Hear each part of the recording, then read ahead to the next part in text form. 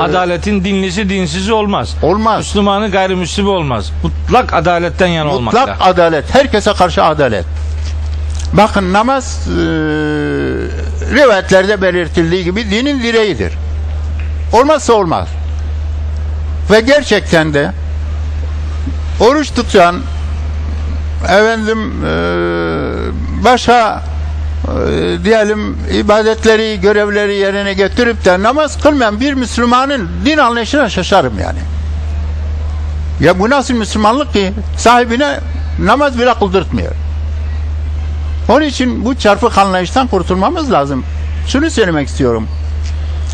Dinimizde, kültürümüzde haklı olarak namaz hep öne çıkmıştır.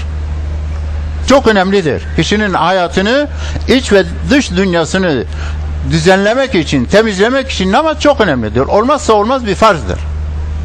Günde beş defa Allah'ın huzuruna çıkıyoruz. Diyoruz ki Allah'ım sen benim Rabbimsin, her şeyim sana borçlu. Ben senin kulunum.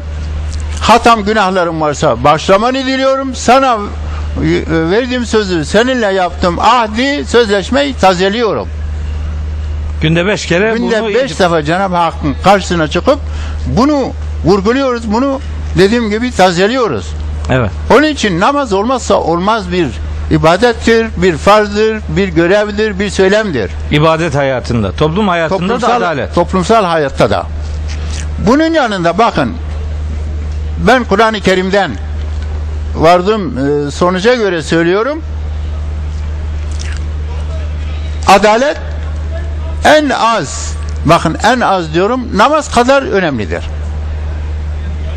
Biliyorsunuz bizim İslam Yani hukukunda dinin direği namazdır. Namaz din için ne kadar önemliyse adalet en Mül- az o kadar önemli. mülkün temeli adalettir. Evet. Mülk hem yönetim iktidar anlamındadır hem mal mülk anlamındadır, servet anlamındadır. Yani toplumda yönetimin, malın, siyasetin, hukukun, ahlakın hepsinin normal olabilmesi için adalet olması lazım. Değilse temelden çürük olur o bina.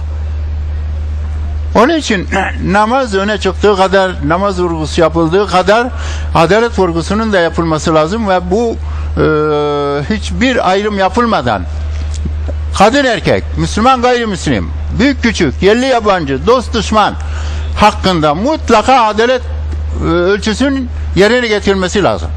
Evet. M- Bir Biliyorsunuz. sürü ayet var. Bir Bir, sürü- sürü, ayet var. Bir sürü ayet vardır ve diyorum ya en az namaz vurgusu yapıldığı kadar adalet vurgusu da yapılmaktadır.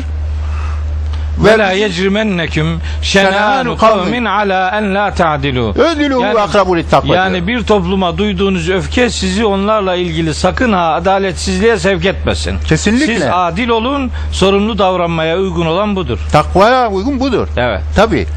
Onun için e, bizim fıkıhta kültürümüzde diyelim İslam toplumunun başındaki yöneticinin azledilip edilemeyeceğinde kriterlerden biri de namaz kılıp kılmadığına bakılır denir.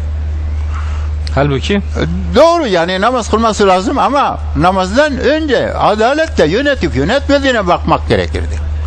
Kıldığı nam- namaz son tahlilde onu ilgilendiriyor. Onunla Allah arasındaki Onunla Allah arasında olan bir olur. ke- kişi ise bir görevini yapıyor. Evet. Ama adalet toplumsal bir sorumluluktur. Toplumun efendim e, insanca, ahlaklı olarak, eşit olarak dediğim gibi hukukuna riayet ederek yaşamasını sağlayan bir kur- kurumdur. Eğer adam gibi ve Allah'ın istediği gibi namaz kılıyorsa zaten adil olmak zorundadır da. Namazı ona yaptırır bunu tabii. Tabii. Ha, Ama bu bilince ne kadar sahibiz o ayrı bir mesele. Doğru. Ha. Onun için mutlaka İslam toplumunda adaletin en başta gelen mütevitten sonra gelen özellik olması lazım. Evet. Devlet başkanı adil seçilmesi lazım. Adaletle seçilmesi lazım. Bunun için şura özelliğidir İslam toplumunun diğer özelliklerinden biri. Babadan oğula atamayla olmaz. Babadan oraya geçen sal- saltanatla olmaz. Allah'ın ve peygamberin masum yom atamasıyla olmaz.